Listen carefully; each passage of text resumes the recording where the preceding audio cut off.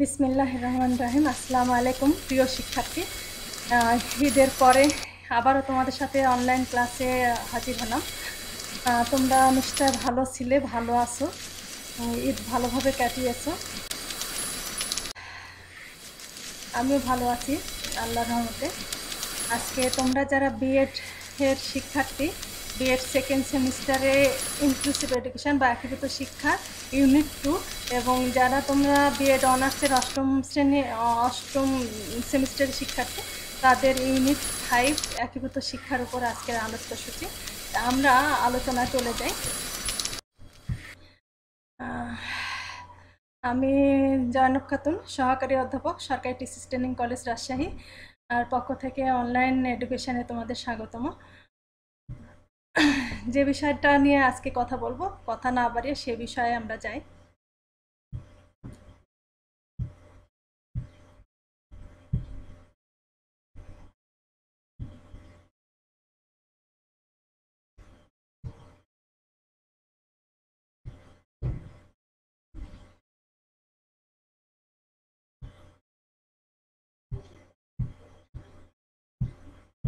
একটু টাইম নিচ্ছে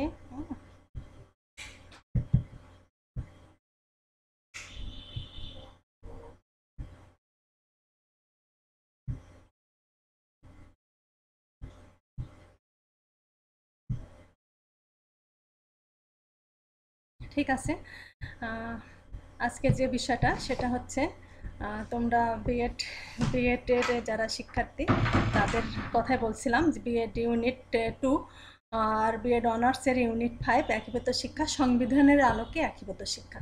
তা আমরা কথা না বাড়িয়ে আমরা ক্লাস সেশনে চলে যাই।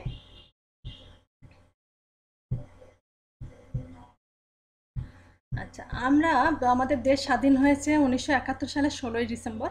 তার ঠিক পরবর্তী বছর ষোলোই ডিসেম্বর উনিশশো বাহাত্তর সালে আমরা সংবিধান পেয়েছি এবং সংবিধানের প্রণেতা হচ্ছে তোমরা সবাই জানো ডক্টর কামাল হোসেন।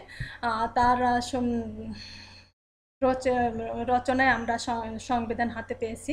উনিশশো বাহাত্তর সালে ষোলোই ডিসেম্বর সংবিধানের কিছু মৌলিক কিছু বৈশিষ্ট্য আছে, কিছু লক্ষ্য উদ্দেশ্য রয়েছে কিছু হচ্ছে প্রস্তাবনা রয়েছে, কিছু ভাষা রয়েছে। তা আমরা অত কিছু পুরো সংবিধান নিয়ে কথা বলতে চাচ্ছি না। আজকে আমরা চাচ্ছি যে আমাদের সংবিধানের যে আলোকে একীভূত শিক্ষা সম্পর্কে কি বলা আছে সেটা নিয়ে। তাহলে আমরা সংবিধানের যে মৌলিক বৈশিষ্ট্য, এই বৈশিষ্ট্যগুলো দেখি।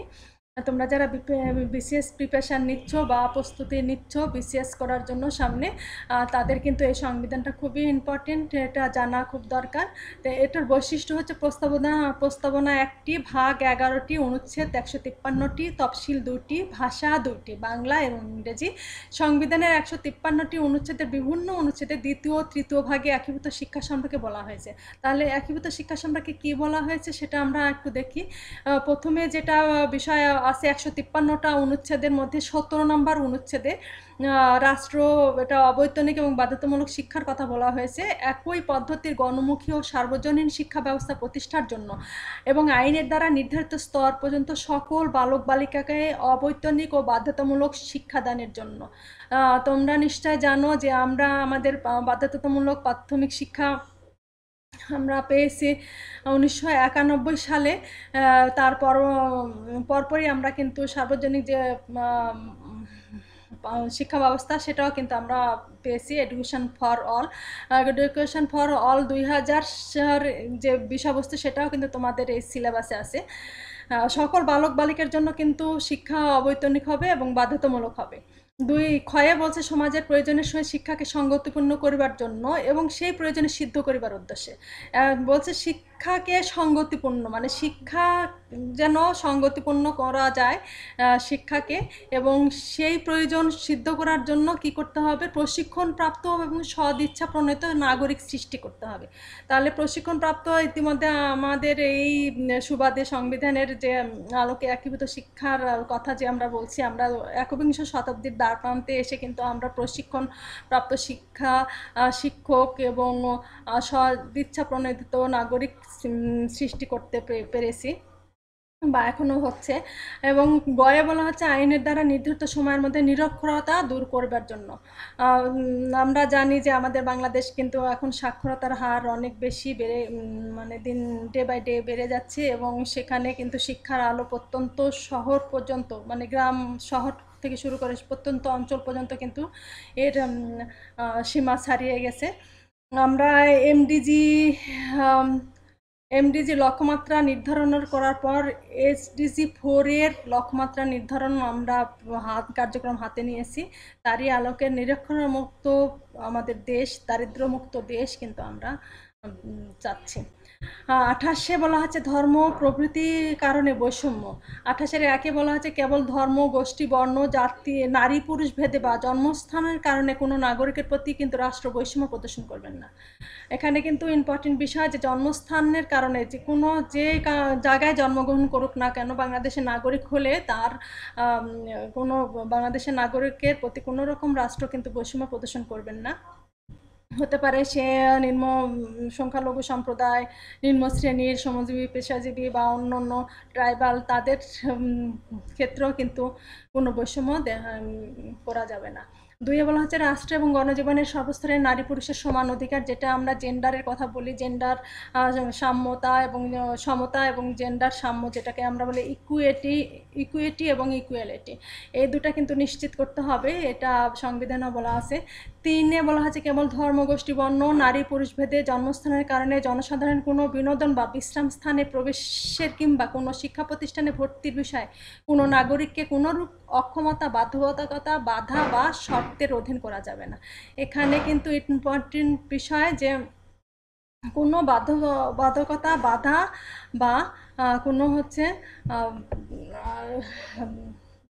মানে কোনোভাবে ফোর্স করা যাবে না যে এটার এই শর্তের বিনিময়ে তুমি এই কাজটা করতে পারবে বা এটা সুবিধাটা নিতে পারবে। তাহলে এখানে আরেকটা বিষয় লক্ষণীয় যে বিশ্রামা, বিশ্রামের স্থান এবং বিনোদন কেন্দ্র, তাদের কিন্তু মানে প্রবেশে কিন্তু কোনো রকম বাধা প্রদান করা যাবে না। শিক্ষা প্রতিষ্ঠানে ভর্তির ব্যাপারেও কিন্তু কোনো রকম বাধা এবং প্রতিবন্ধকতার সৃষ্টি করা যাবে না।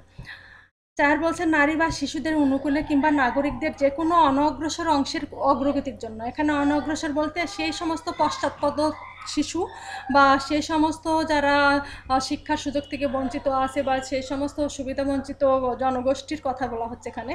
অগ্রগতির জন্য বিশেষ বিধান প্রয়োজন হলে তাদের তাদেরকে শিক্ষার আলো ছড়িয়ে দেওয়ার জন্য, তাদেরকে আপ টু ডেট করার জন্য কি করতে হবে? বিশেষ বিধিবিধান প্রণয়ন করতে করতে হবে এবং এই ক্ষেত্রেও কিন্তু রাষ্ট্রকে কেউ নিবৃত বা প্রতিবন্ধকতা সৃষ্টি করতে পারবে না।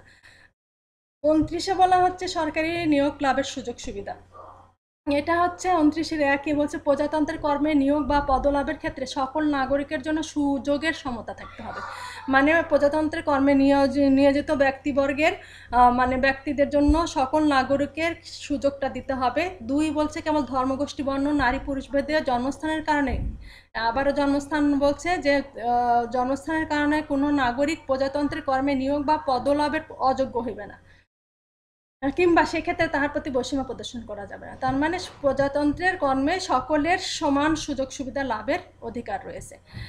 উনিশশো তিনে বলা হচ্ছে যে তিনের কয়ে নাগরিকদের যে কোনো অনগ্রসর অংশ যাহাতে প্রজাতন্ত্রের কর্মে উপযুক্ত প্রতিনিধিত্ব লাভ করতে পারে। সেই উদ্দেশ্যে তাহাদের অনুকূলে বিশেষ বিধান প্রণয়ন করা হইতে। এখানে একটা বিষয় লক্ষণে যে অনগ্রসর অংশ মানে যারা পিছিয়ে আছে পশ্চাৎপদতর জনগোষ্ঠী যারা হচ্ছে ব্যাকওয়ার্ডেড চাইল্ড আমরা বলতে পারি বা জনসমষ্টি বলতে পারি, সংখ্যালঘু সম্প্রদায়ের জনগোষ্ঠী, তারা কি করবে? উপযুক্ত প্রতিনিধিত্ব লাভ করতে পারেন এবং সেই উদ্দেশ্যে তাদের এই প্রতিনিধিত্ব যেন, নেতৃত্ব যেন গুণাবলী বিকশিত হয়, সেই উদ্দেশ্যে তাদের কিন্তু বিশেষ বিধিবিধান প্রণয়ন মানে করতে হবে বা প্রণয়ন করা থেকে কেউ বিরত রাখতে পারবে না।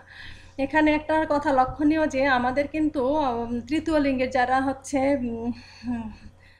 যেটা, যাকে আমরা হিজরা বলি, তাদেরও কিন্তু আইন আছে, আইন প্রণয়ন করছে। এবং আমরা জানি যে, ইতিমধ্যে প্রতিবন্ধীদের জন্য কিন্তু বিশেষ ব্যবস্থা করা হয়েছে সরকার। এছাড়া যারা হচ্ছে ট্রাইবাল উপজাতি, তাদের জন্য বিশেষ ব্যবস্থা করা হয়েছে।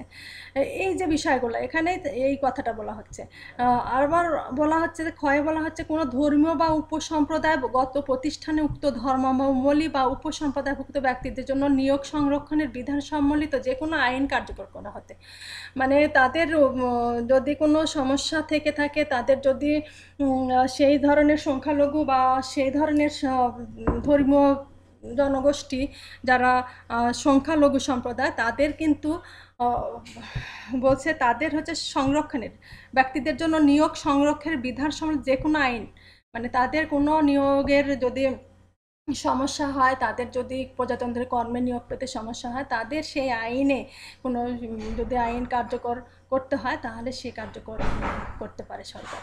আচ্ছা রাষ্ট্র বা সরকার। গয়ে বলছে, যে শ্রেণির কর্মের বিশেষ প্রকৃতির জন্য তাহা নারী বা পুরুষের পক্ষে অনুপ, অনুপযোগী বিবেচিত হয়। বলছে, যে শ্রেণির কোনো কর্ম যদি কোনো নারী পুরুষের জন্য উপযুক্ত না বা তার জন্য উপযোগী নয়। তাহলে সেই রূপ যে কোনো শ্রেণির নিয়োগ বা পদও যথাক্রমে পুরুষ বা নারীর জন্য সংরক্ষণ করা যেতে। তার মানে তার সেই মানে ওই রূপ মানে যেটা তার কর্ম অনুপযোগী তাদের জন্য উপযুক্ত হচ্ছে না। তাহলে অন্য কোনো মানে কর্ম তাদের জন্য সংরক্ষণ করা। যেমন আমি এখানে একটু উদাহরণ দিই যেমন আমাদের সরকারি প্রাথমিক বিদ্যালয়ে আহ, শিক্ষক নারীর কোটা কিন্তু হচ্ছে সিক্সটি পার্সেন্ট আবার মাধ্যমিক বিদ্যালয়ের থার্টি পার্সেন্ট এই যে যে বিষয়গুলো দেওয়া আছে সংরক্ষণ করার কথা বলা আছে। এছাড়া বিশেষ করে যারা ট্রাইবাল, তাদের আদিবাসী শ্রেণির যারা সম্প্রদায়, তাদের জন্য কিন্তু নিজস্ব ভাষার টিচার মাতৃভাষার শিক্ষক, মাতৃভাষার বই, এই যে বিষয়গুলো কিন্তু দেওয়া হচ্ছে, তার মানে মাতৃভাষার শিক্ষক কিন্তু নিয়োগ করার জন্য কিন্তু বলা হচ্ছে। তাহলে এই সমস্ত কাজ থেকে রাষ্ট্রকে কখনোই কেউ নিবৃত্ত করতে পারবে না। তো প্রিয় শিক্ষার্থী তোমাদের সাথে আজকের যে আলোচ্য সূচি ছিল একীভূত সংবিধানের আলোকে একীভূত শিক্ষা।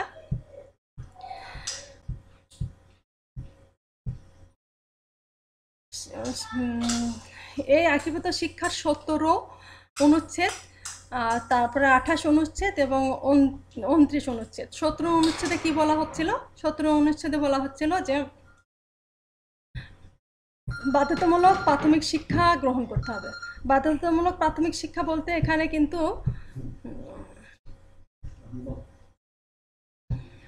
আচ্ছা বাধ্যতামূলক প্রাথমিক শিক্ষা বলতে কিন্তু এখানে সর্বস্তরের বালক বালিকাদের জন্য শিক্ষা অবৈতনিক এবং বাধ্যতামূলক করা। আঠাশ অনুচ্ছেদে কিন্তু বলা হচ্ছিল যে কোনো বৈষম্য দেখানো যাবে না এবং উনত্রিশ অনুচ্ছেদে প্রজাতন্ত্রের কর্মে সকলের সুযোগ পাওয়ার অধিকার অংশগ্রহণ করার অধিকার আছে, এই কথা বলা হচ্ছে। তো প্রিয় শিক্ষার্থী, আজকে তোমাদের সাথে আমি আর কথা বাড়াবো না। তোমরা ভালো থেকো সুস্থ থেকো এবং সুস্থ শরীর মন নিয়ে তোমরা আবার আমার প্রিয় ক্যাম্পাসে, আমাদের প্রিয় ক্যাম্পাসে ফেরত আসো। এই প্রত্যাশা রেখে আমি আজকের ক্লাস শেষ করছি। দেখা হবে অন্য কোনো ক্লাসে বা অন্য কোনো বিষয়। সে পর্যন্ত তোমরা ভালো থেকো, সুস্থ থেকো। দোয়া চাই, দোয়া করি। আসসালামু আলাইকুম।